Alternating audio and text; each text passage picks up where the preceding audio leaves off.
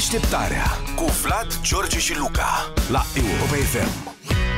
Cât s-o mai putea, prieten, cât s-o mai putea Cât NASA pentru că ce? avertizează că un asteroid de mărimea 90 de elefanți, așa e titlul, se îndreaptă cu viteză spre Pământ, 15,8 km pe secundă, va trece pe lângă Pământ, sperăm, pe 6 aprilie, deci azi e 5.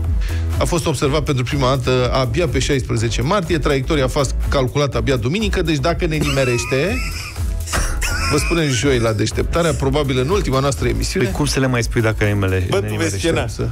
Pe 16 martie la NASA, unul fuma. Ia uite ce vine asteroidul, mama mea, câte tată? Câte elefanți, câți 90, văd trompele, cum se rotesc. Da, ce Caterinca e și acolo. Da, formularea citată de presă, nu doar de presa românească, ci din multe locuri, este așa, asteroidul măsoară între 120 de metri și 270 de metri, e o oarecare imprecizie aici, ceea ce înseamnă că ar putea fi de mărimea 90 de elefanți. Deci, practic, 3 metri de elefant la maximum. Altfel...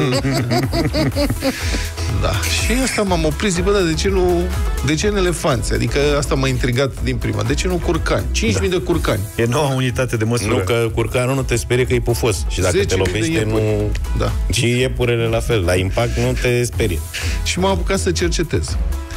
Și am găsit. Știrea, aparent, știrea cu elefanții, adică cu echivalarea asteroidului în elefanți, a fost publicată pentru prima dată de un ziar indian. Înseamnă că ăla de la NASA era indian și a sunat acasă. Tată, vedeți că vine un asteroid? Cât de mare e? Cât de mare e? Cât de mare? Cât 90 de elefanți, tăticule?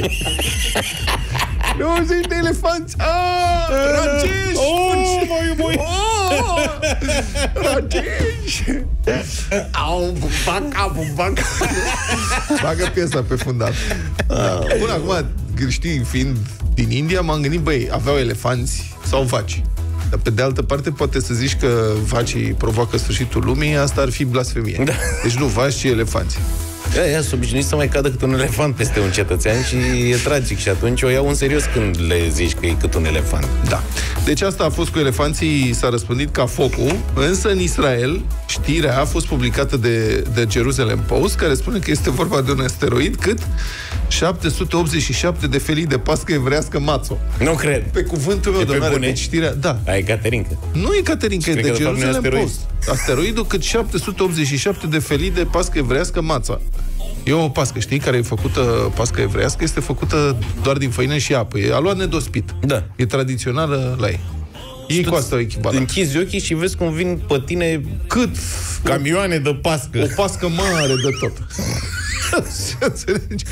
da, la noi, măsurătoarea în elefanți la noi n-are sens. Nici Nu, în nu ne pască frică mațo nici de nu elefant, cred că nici mai de are pască. sens prea tare. În ce am putea noi să măsurăm? Mă gândesc. Mici, No. nu? E Prea Caterinca. E Caterinca? În porci.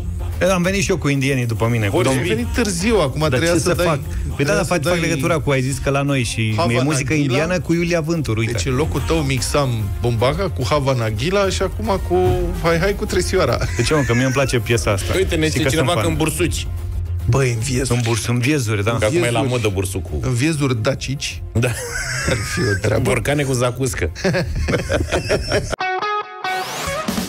Deșteptarea cu Vlad, George și Luca la Europa FM.